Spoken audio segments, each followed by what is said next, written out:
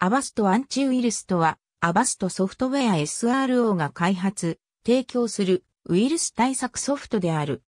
家庭での非営利使用であれば、ずっと無料で利用できるアバストフリーアンチウイルスのほか、有料版として、アバストプレミアムセキュリティ、アバストアルティメットスイート、アバストモバイルセキュリティなどが提供されている。また、小規模企業向けに無料で利用できるアバストビジネスセキュリティクラウドもある。かつて、フリーアンチウイルスは30日間の体験版として動作し、無料のユーザー登録を行えば、利用期間を延長できる仕組みだったが、現在はユーザー登録不要で、半永久的に無料で利用ができる。Google パックにもスパイウェアドクトルに代わって含まれていた時期がある。4.8までは無料版の名称がアバストホームエディション、有料版がアバストプロフェッショナルエディションであった。4.8までのプロフェッショナルエディションは、バージョン5では、プロアンチウイルスに該当する。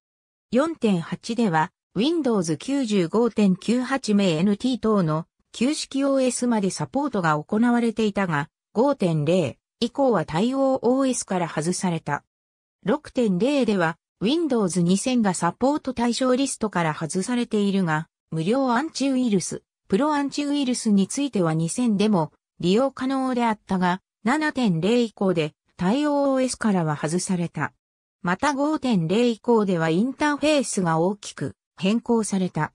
2013年にアバスト2014を発表し、これ以後はバージョン表記に年を使用している。無料のアンチウイルスソフトウェアとして日本で先行していた AVGアンチウイルスの無償利用可能版は非公式な日本語化ファイルを使って日本語表示にすることは可能だったが、2007年8月8日まで公式な日本語版が存在しなかった。一方、アバストアンチウイルスは個人のボランティア作業によるヘルプファイルを含めた日本語訳が公式に採用されたため、2004年2月27日より特別な言語ファイルを必要とせず、インストール段階から完全に日本語表示されるようになった。また、2006年9月からは公式サイトにも日本語のページが開設された。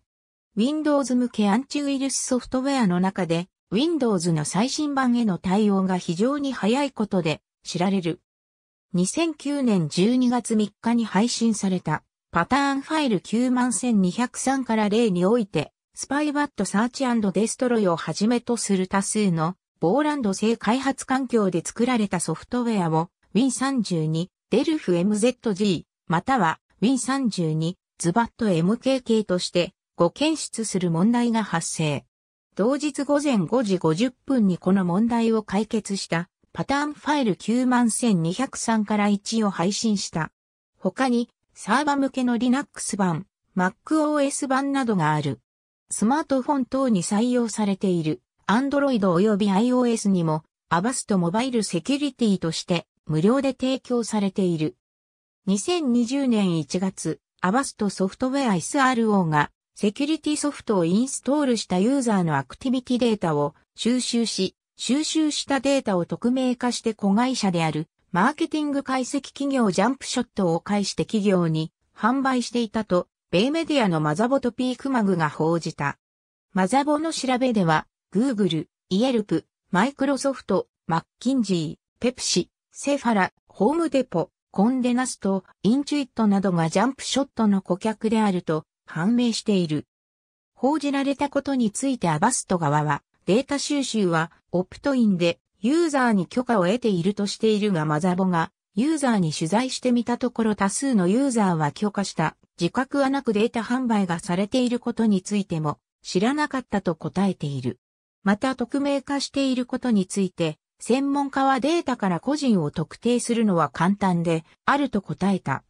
この報道の直後、アバストは、子会社ジャンプショットの事業終了及び、アクティビティデータ収集の終了を発表。現在は、製品ポリシー等の規約類に、この種のデータの利用許諾に関する言及は、亡くなっている。ありがとうございます。